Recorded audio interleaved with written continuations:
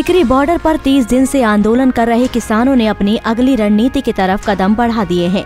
तीनों कृषि कानूनों को वापस लेने के लिए, सरकार पर दबाव बनाने के लिए किसानों ने आज से सभी टोल फ्री करने शुरू कर दिए। साथ ही अब टिकरी बॉर्डर पर पुरुष किसानों की जगह महिला किसानों ने भूख हड़ताल शुरू कर दी है।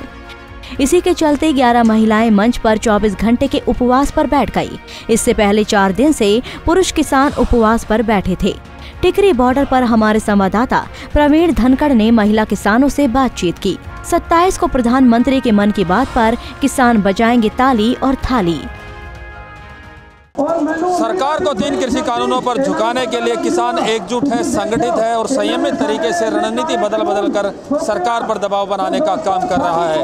किसानों ने जहाँ आज से तीन दिन के लिए टोल फ्री अभियान दोबारा शुरू किया है, वहीं टिकरी बॉर्डर के धरना स्थल पर महिला किसान धरने पर बैठ गई हैं, भूख हड़ताल पर बैठी हैं। ये महिलाएँ अगले 24 घंटे तक भूख हड़ताल करेंगी। कल तक पुरुष किसान इस धरना स्थल पर, इस मंच पर, टिकरी बॉर्डर के मंच पर भूख हड़ताल पर बैठे थे।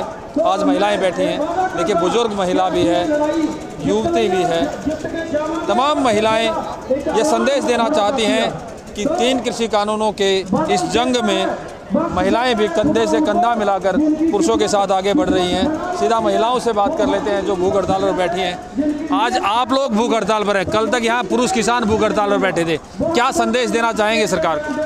यही बताना चाह रहे हैं मोदी जी को कि आप ये जो किसानों की मांगे हैं, इनको जल्दी पूरा करें। और महिलाएँ अगर हम खेतों में कंधे से कंधा मिलाकर पुरुषों के साथ काम कर सकते हैं तो अगर आज भूख हड़ताल की बात है तो हम अपने किसान भाइयों को अकेला भूखा क्यों मरने दें? हम महिला शक्ति बिल्कुल उनके कंधे से कंधा मिलाकर इस आंदोलन में अपना सहयोग दे रहे हैं। पिछले एक महीने से हम लोग सुबह से शाम तक यही रहते थे और दो दिन तो हमने भूख हड़ताल नीचे बैठ के की है, क्योंकि महिलाओं को परमिशन नहीं दी गई थी मंच पे बैठने की, क्योंकि रात में यहाँ पे महिलाओं को रुकना सिक्योरिटी का थोड़ा दिक्कत था।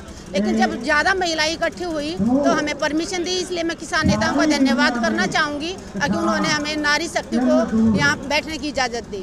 तो कैसे समाधान होगा जो ये समस्या बढ़ती जा रही ना बातचीत हो रही है, दिन भर दिन बीतते जा रहे हैं आज महीना भर हो गया देखिए वो तो प्रधानमंत्री जी ने सोचना होगा कि वो कब लागू करें लेकिन किसान यहाँ से तभी हटेंगे जब हमारी मांगे पूरी हो जाएँगी।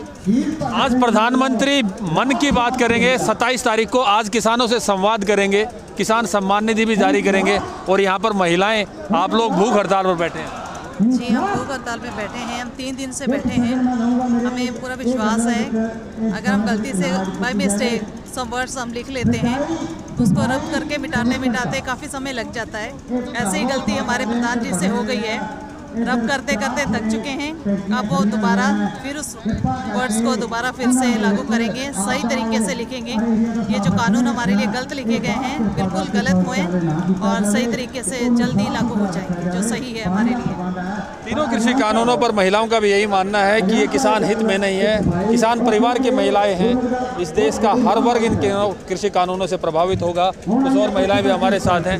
आप बताएँ कि आप भूख हड़ताल पर आज बैठे हैं, कल तक यहाँ पुरुष किसान बैठे थे क्या कहना चाहेंगे सरकार पर सरकार पर क्या दबाव बनाने के लिए ਸਰਕਾਰ ਪਰ ਜੇ ਇਹ ਦਬਾਅ ਹੈ ਮੇਰਾ ਕਿ ਅਸੀਂ ਕਿ 26 ਤਰੀਕ ਤੋਂ ਲਗਾਤਾਰ ਇੱਥੇ ਕਿਸਾਨਾਂ ਦੇ ਨਾਲ ਬੈਠੇ ਆ ਕਿਹੜੇ ਧਰਨੇ ਵਿੱਚ ਸ਼ਾਮਲ ਆ ਸਭ ਤੋਂ ਪਹਿਲਾਂ ਅਸੀਂ ਪੰਜਾਬ ਵਿੱਚ 2 ਮਹੀਨੇ ਪੂਰੇ ਉੱਥੇ ਬੈਠੇ ਰਹੇ ਸੀ ਉੱਥੋਂ ਅਸੀਂ ਇਹ ਕਿਹੜੀ 26 ਤਰੀਕ ਤੇ 27 ਦੱਸ ਚੁੱਕੇ ਸੀ ਸਰਕਾਰ ਨੂੰ ਕਿ ਸਰਕਾਰ ਹੋ ਸਕਦਾ ਹੈ ਸਾਡੇ ਪੰਜਾਬ ਵਿੱਚ ਬੈਠਿਆਂ ਦੇ ਕੁਛ ਨਾ ਕੁਛ ਇਹ ਕਿਹੜੇ ਕਾਨੂੰਨਾਂ ਦਾ ਕੋਈ ਹੱਲ ਕਰੇਗਾ ਪਰ ਨਹੀਂ ਫਿਰ 26 ਤਰੀਕ ਨੂੰ ਅਸੀਂ ਕਿਹੜਾ ਇੱਥੇ ਦਿੱਲੀ ਵੱਲ ਨੂੰ ਕੂਚ ਕੀਤਾ ਹੈ 26 ਤਰੀਕ ਤੋਂ ਲੈ ਕੇ ਲਗਾਤਾਰ ਅੱਜ ਤੱਕ ਅਸੀਂ ਕਿਸਾਨਾਂ ਦੇ ਨਾਲ ਆ ਇਹ ਕਾਨੂੰਨ ਅਸੀਂ ਰੱਦ ਕਰਾ ਕੇ ਹੀ ਵਾਪਸ ਜਾਵਾਂਗੇ लेकिन सरकार तो बुला रही है ना बातचीत के लिए जा क्यों नहीं रहे हैं किसान ਉਹ ਬਾਤਚੀਤ ਕਰਨ ਵਾਸਤੇ ਕਿਹੜੀ ਬਾਤ ਕਰਨੀ ਹੈ ਖੇਤੀ ਦੀ ਉਹ ਨਹੀਂ ਨਾ ਕਰਦੀ ਉਹ ਕਦੇ ਕਹਿੰਦੀ ਹੈ ਵੀ ਅਸੀਂ ਸੁਧਾਰ ਕਰਦੇ ਆ ਕਦੇ ਕ- ਕਹਿੰਦੇ ਨੇ ਕਾਨੂੰਨ ਤੁਹਾਡੇ ਹੱਕ ਦੇ ਨੇ ਜਦੋਂ ਕਿਸਾਨ ਅਸੀਂ ਸਭ ਕਿਸਾਨ ਕਹਿ ਰਹੇ ਆ ਵੀ ਕਸੂ- ਕਿਹੜੇ ਕਾਨੂੰਨ ਨੇ ਸਾਡੀ ਮੌਤ ਹੈ ਸਾਨੂੰ ਇਹ ਕਾਨੂੰਨ ਚਾਹੀਦੇ ਹੀ ਨਹੀਂ ਅਸੀਂ ਇਹ ਸਾਨੂੰ ਚਾਹੀਦੇ ਹੀ ਨਹੀਂ ਤੇ ਫਿਰ ਕਾਨੂੰਨ ਸਰਕਾਰ ਕਿਉਂ ਜ਼ਬਰਦਸਤੀ ਕਰ ਰਹੀ ਹੈ ਸਾਡੇ ਨਾਲ महिलाएं भी कह रही हैं कि ये कानून हमें चाहिए नहीं तो सरकार क्यों ज़बरदस्ती कर रही है दोबारा से एक बार फिर इन्हीं महिलाओं से जानते हैं कि इन कानूनों में ऐसी क्या कमियां हैं जो इनको लगती हैं क्या कमी है इन कानूनों में जो आप लोग चाहते हैं कि सुधार ना हो, वापिस हो? तो आप देखिए, ये कानून है ना धीरे धीरे ये अगर ये कानून लागू हो गए तो धीरे धीरे हमारी मंडी सिस्टम खत्म हो जाएगा, खत्म हो जाएगा। और एमएसपी की कोई गारंटी नहीं होगी।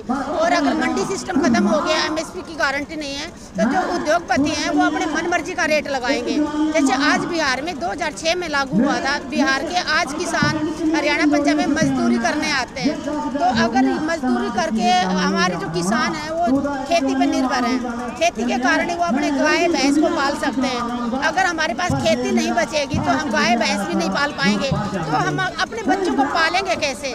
या तो हम भीख मांगे, या मजदूरी करें, दो ही रास्ते हमारे पास बचते हैं। तो ऐसे देश आगे कैसे बढ़ेगा? इन तीनों कृषि कानूनों से एक ही डर है कि मंडी सिस्टम खत्म हो जाएगा एमएसपी खत्म हो जाएगी, और खेती संकट में आ जाएगी। ये महिलाएँ आज इसलिए हड़ताल पर बैठी हैं ताकि सरकार को ये जान लेना चाहिए। ये मातृशक्ति, पुरुषों के साथ कंधे से कंधा मिलाकर इस आंदोलन में सक्रिय भागीदारी निभा रही हैं और इन सड़कों के मोर्चे पर ये महिलाएँ भी तब तक डटी रहेंगी जब तक इनकी लड़ाई, इनके हक में नतीजा लेकर नहीं आती। तीनों कृषि कानून रद्द नहीं होते। Praveen Kumar Dhankhar, Punjab Kesari, tech reporter